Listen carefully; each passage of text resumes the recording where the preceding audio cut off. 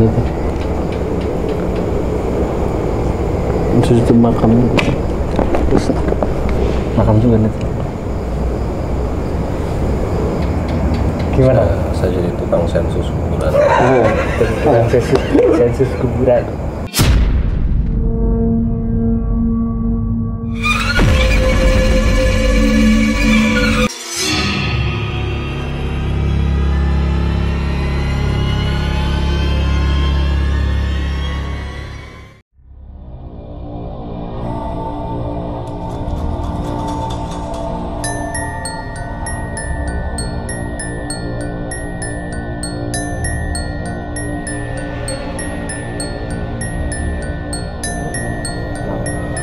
Posisi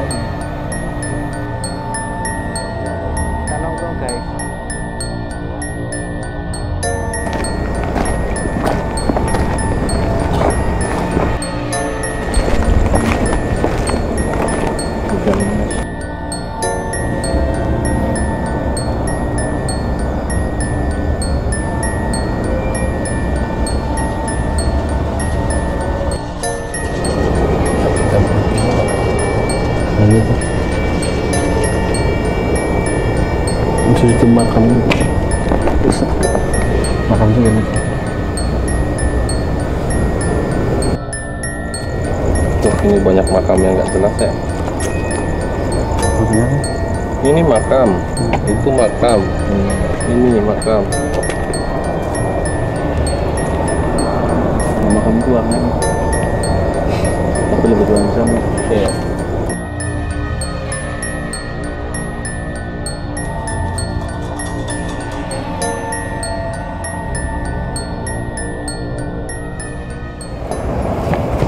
Assalamualaikum warahmatullahi wabarakatuh. Waalaikumsalam. Selamat pagi teman-teman sekalian Menjelang subuh. menjelang subuh.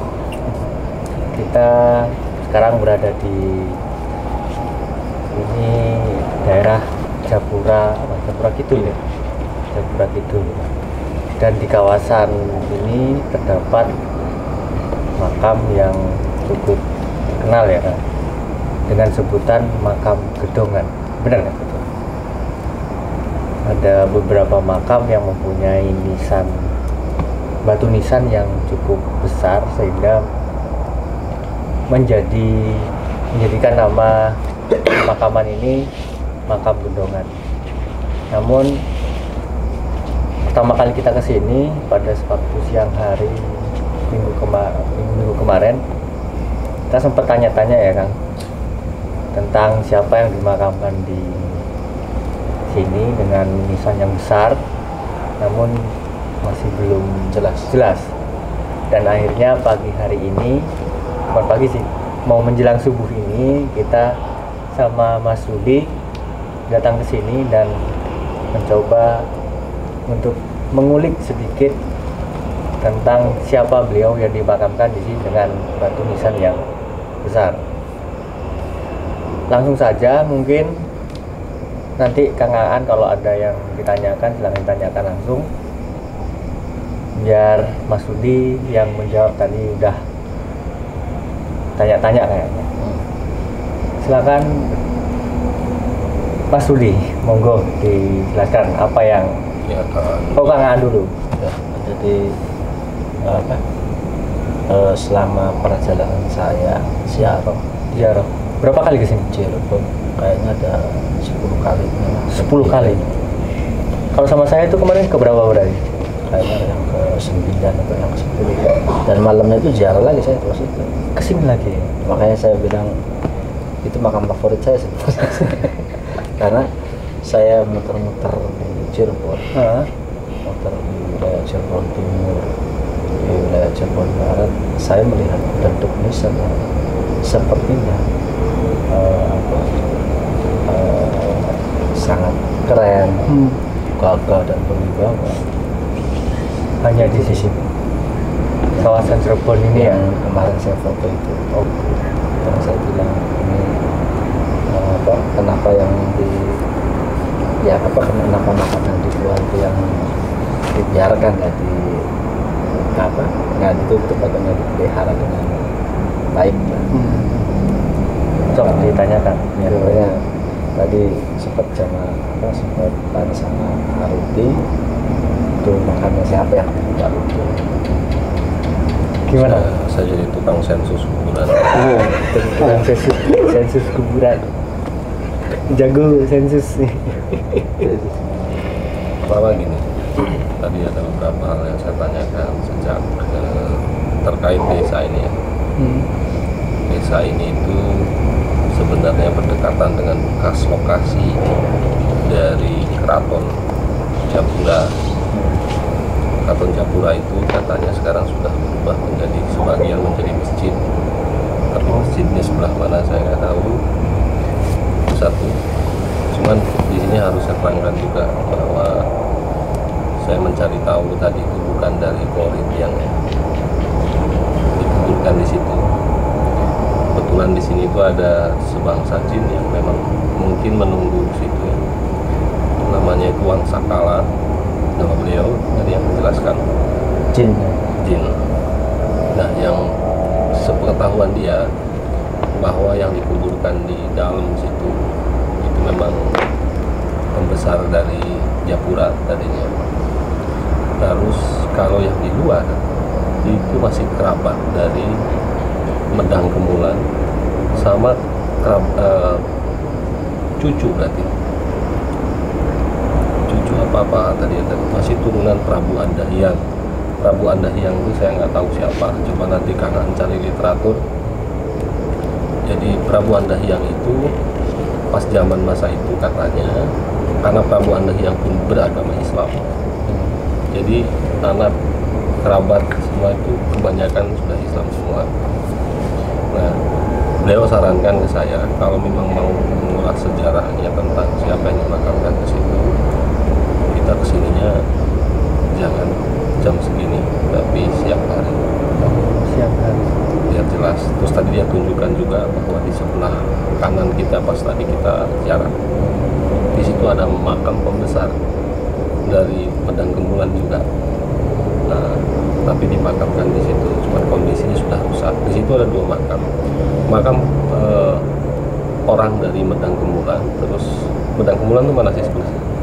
Kalau nama kerajaannya itu kalau nama kerajaan itu kata kamu. Hmm.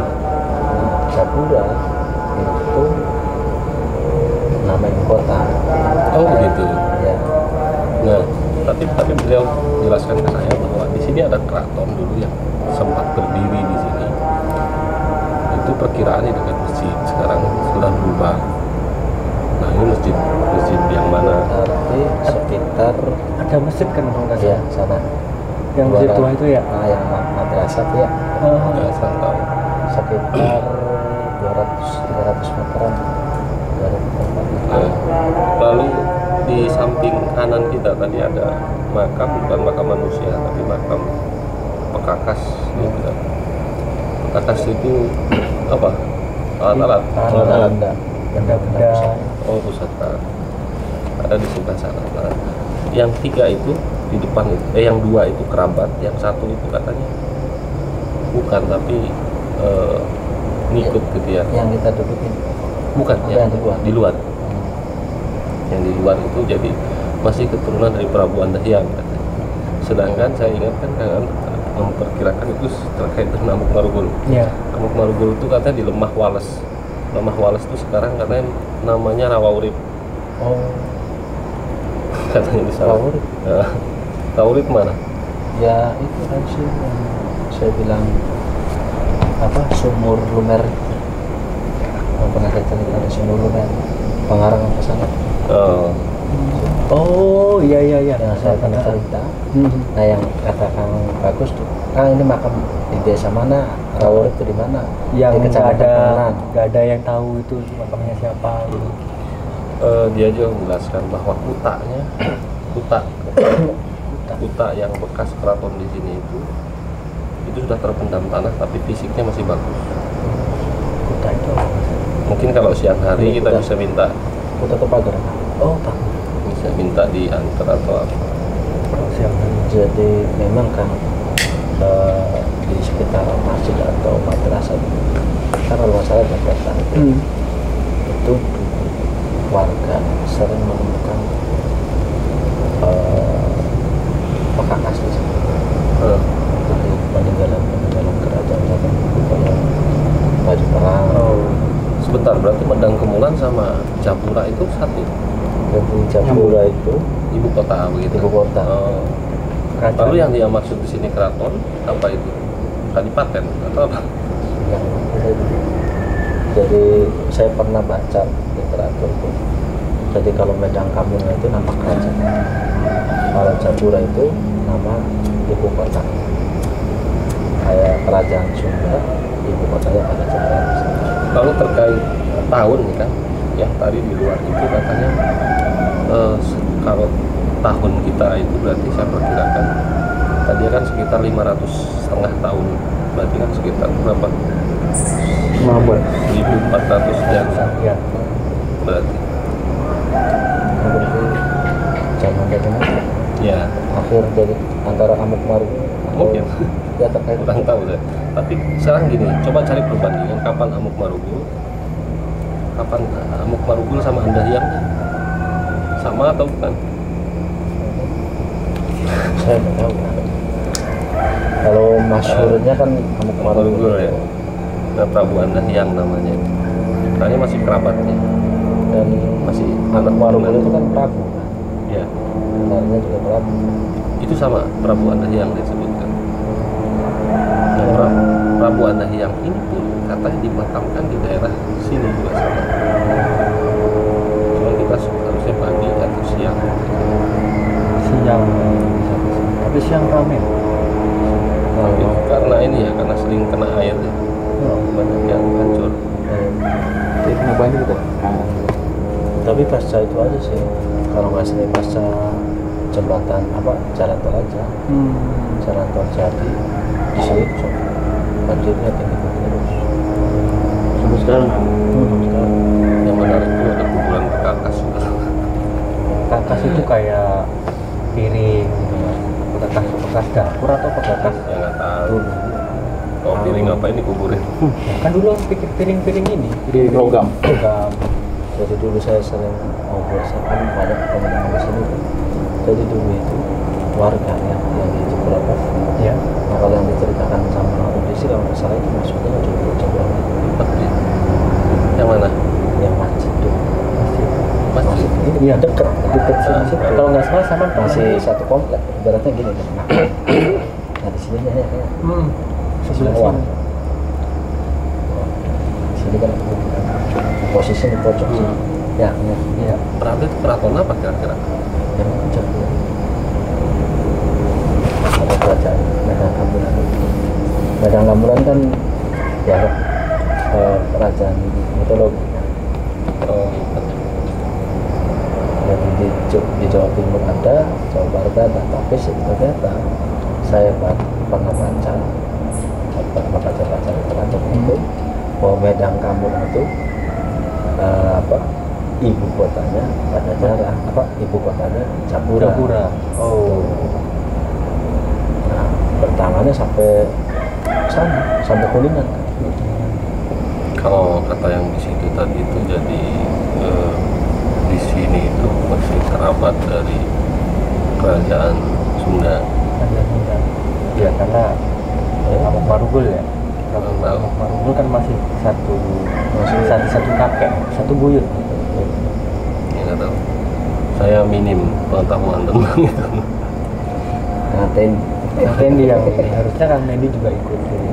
Yang menarik ini anda yang tahun berapa cari catatannya tabu kalau kalau ini turunannya berarti kan? Nggak jauh. Iya tadi ya, eh, dia bilang cucu. Oh cucu. Satu cucu satu tuh Ahmad yang satu tuh bukan dari sini. Tapi ngikut. Orang mendangungan sebutan itu gitu berarti kerajaan juga.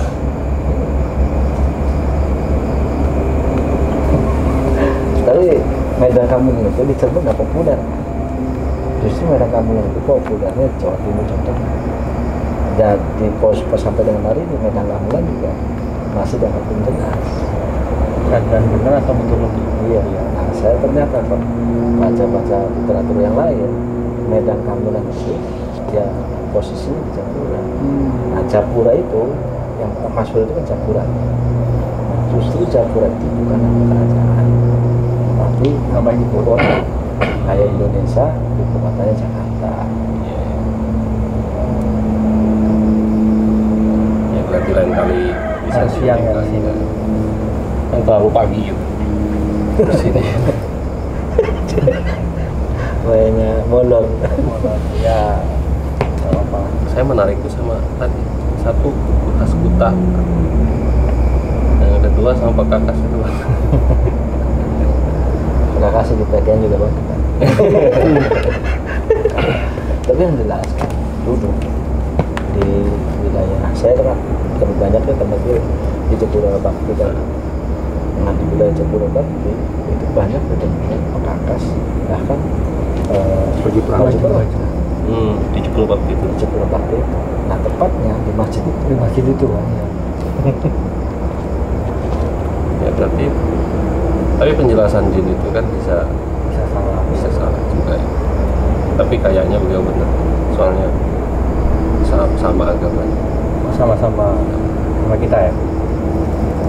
Jadi bahasa orang sini sih. Dulu bahasa orang sini.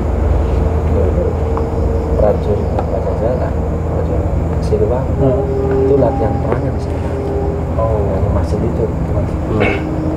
nah, diceritakan eh, keraton baru sekarang tapi jadi yang berkembang itu di situ tempat kayak mobil gudang lah oh tempat tempat perang aja Tempat latihan. Mes- kan? mes. tempat latihan mes. mes. tapi kan biasanya nyatu kan iya biasanya nyatu gudang ya dengan mungkin bisa dengan kerajaan berarti yang dimakamkan di sini mas itu rata-rata eh, kebanyakan sudah Islam ya sudah sudah semua terus kemudian yang namanya siapa? Tadi eh, yang perempuan? Eh, nah ini menarik lagi kan rawan suki nama. Rawan apa disebutnya? Nyai Mail Hmm. rawan suki sesepuh kanci itu di situ juga mas. Tadi saya singgung saya gitu Heeh. nah Nyemail itu makamnya bukan di luar sini di dalam benar iya katanya di dalam eh, tapi nggak nggak nggak. Maksudnya bentuk kuburan. Yang maksudnya kita- kan itu lebih banyak kan? Banyak tekel gitu. Terus sama bilang kan tadi itu di, di- kita dudukin ada makam Hmm. gitu kan. Apa? Bukan bukan. Bukan ya? Yang saya pernah dapat informasi jadi berbeda kan Hmm. waktu sama Kang Bagus di yang di luar yang kecil Hmm. nah waktu sama teman saya. Orang sekolah Hmm. itu yang buat kita ziarah depan pojok kanan. Pojok kanan. Yang di luar. Di bawah genteng itu Hmm. saya yang satu itu. Iya di dalam. Iya kan dalam. Nggak? Iya benar iya di dalam. berarti benar kan iya yang di dalam bukan yang di luar. Nah menariknya maksud saya luar luar luar. Ini kan luar pagar. Dan dalam jadi menariknya Nyai Mahir Rawan sesepuh kanci berarti kan tiga sesepuh kanci asalnya kan dari kanci kemudian Rawan Suci ini dari kerajaan apa? Kerajaan. Ini berarti kan terkait dengan kerajaan. Hmm. kalau Nyai Mahir berarti kan nama. Nama. Dan disebutnya tiga. Nyai Mahir Tadi kita fokusnya sih ke ini sih ke makam yang di luar di luar yang besar dari mana terus eh, terkait kerajaan di sini benar nggak ada atau enggak ya kata beliau sih memang ada. Dan bekas keraton yang tahu di keraton ala ala seperti apa ya. Itu hutannya masih ada dekat masjid. Sekarang udah berubah jadi masjid. Di area situ eh Barat yang itu masih banyak rumah ya masih hamparan apa? Cuma masjid. Enggak samping kanan kiri. Jalan jalan. Sebelah kanannya jalan. Lurus lagi kan Pangeran Melang sebelum Pangeran Melang Pangeran Sumbaras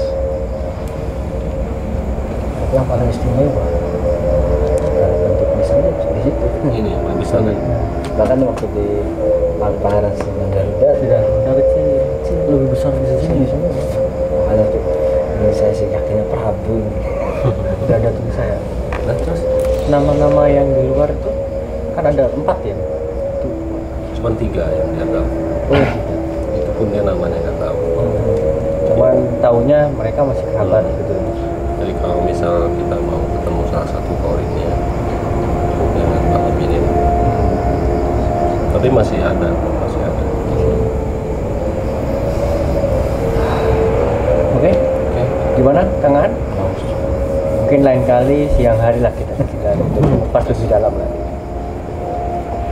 Baik teman-teman untuk malam ini kita sudahi dulu. Eh pagi ya pagi hari ini kita sudahi dulu karena tadi informasinya kalau mau mengupas lebih dalam lagi harus siang.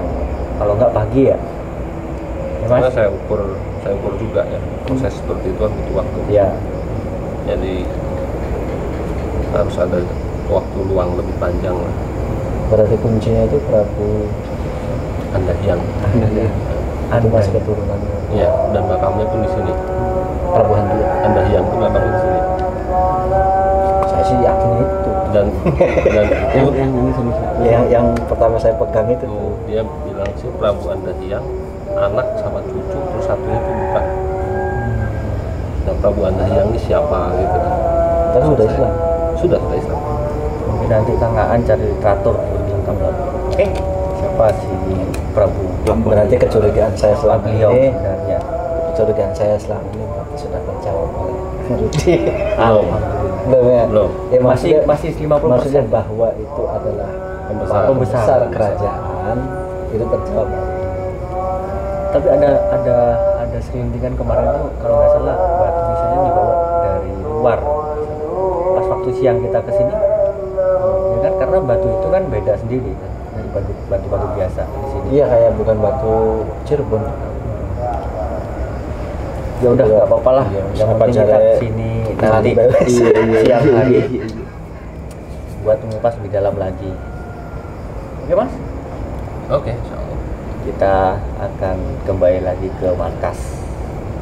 Ikutin terus penelusuran-penelusuran tim jejak malam ofisial sensus makam. sensus makam ganti ada julukan baru lagi ya? Sensus makam unboxing.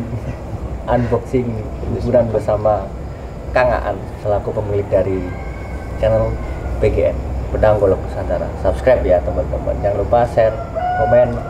Ya ikutin terus video-video selanjutnya. Assalamualaikum warahmatullahi wabarakatuh. Selamat pagi